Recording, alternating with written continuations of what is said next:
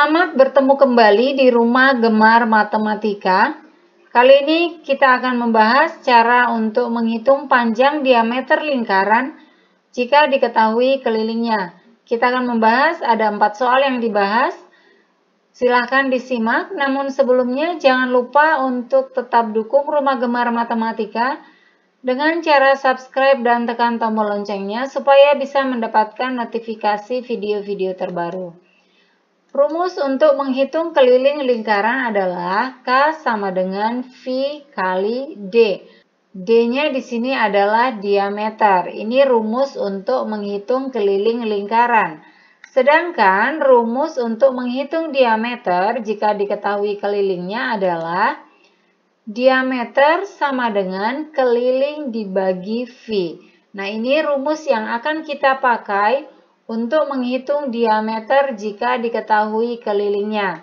Kita masuk ke pembahasan soalnya.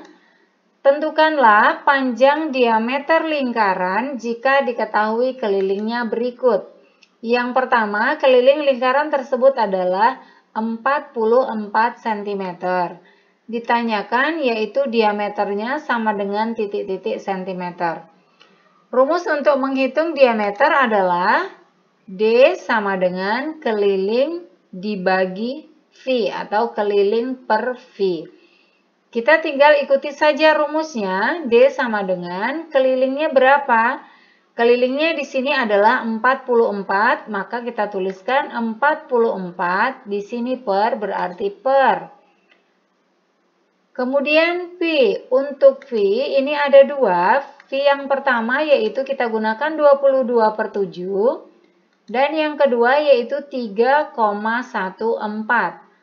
Apa perbedaan dari 22 per 7 dan 3,14?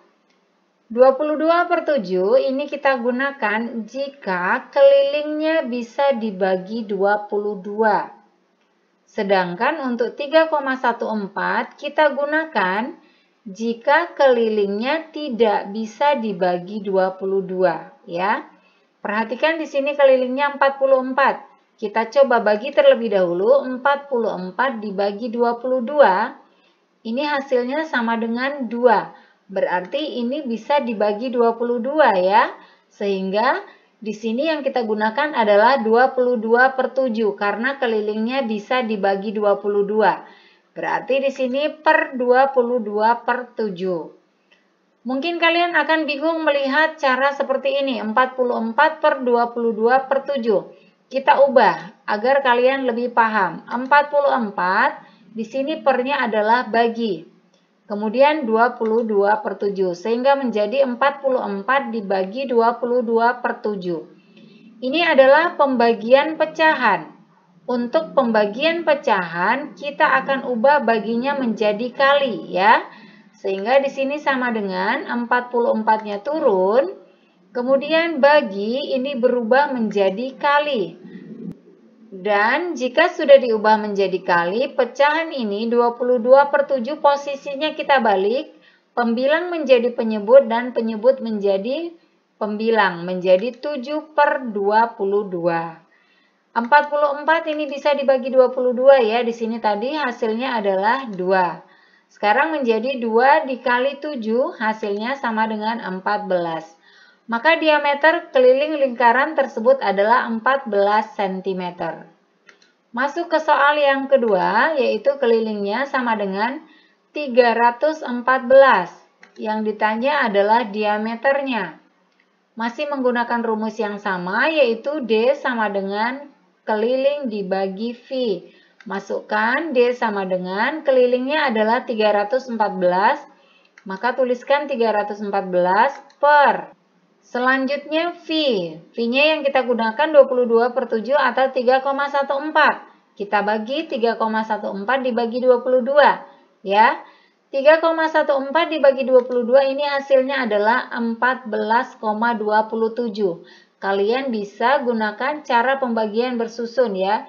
Ini langsung kita hitung untuk menghemat waktu. Nah, berarti 314 ini tidak bisa habis dibagi 22 ya. Maka yang kita gunakan Pi-nya adalah 3,14. Sehingga menjadi 314 per 3,14.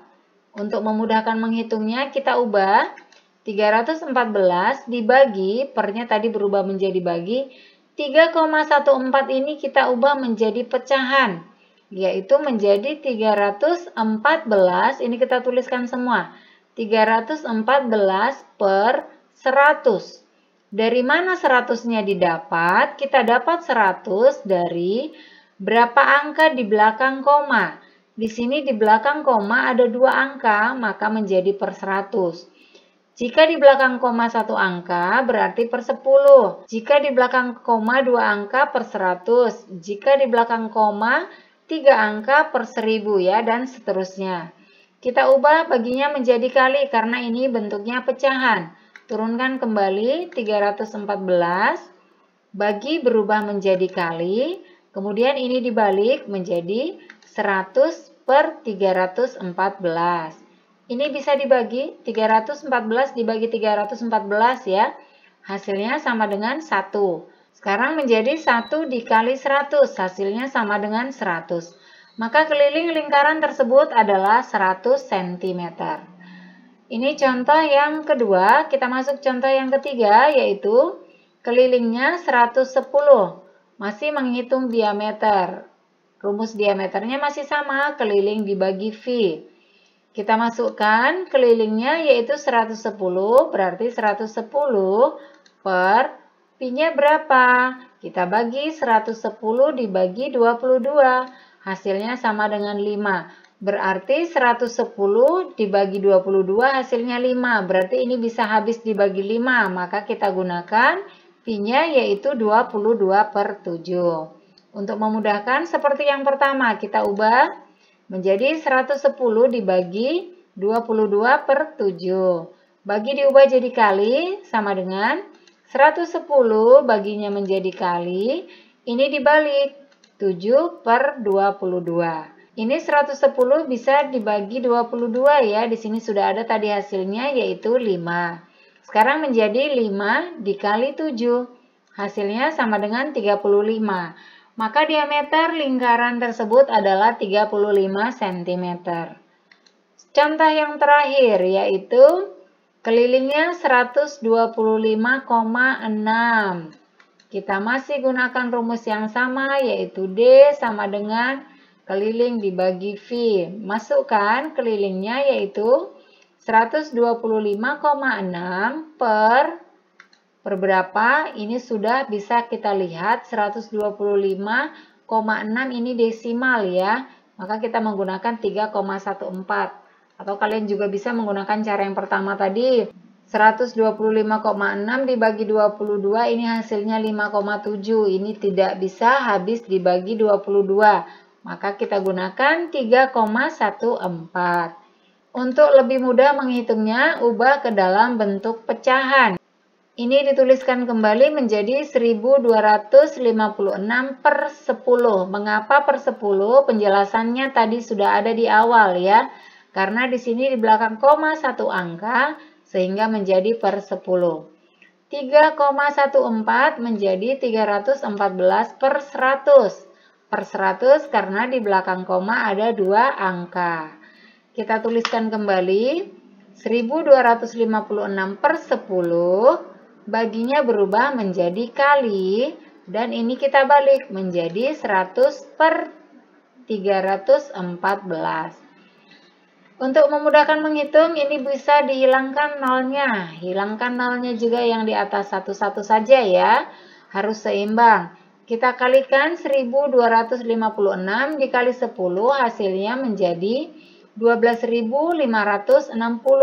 Di sini di bawah per 314 sehingga di sini juga per 314. Selanjutnya 12.560 dibagi 314 hasilnya adalah 40. Maka keliling lingkaran tersebut adalah 40 cm. Demikian pembahasan kita kali ini tentang cara untuk menghitung diameter lingkaran jika diketahui kelilingnya. Mudah-mudahan bisa bermanfaat. Terima kasih dan sampai jumpa.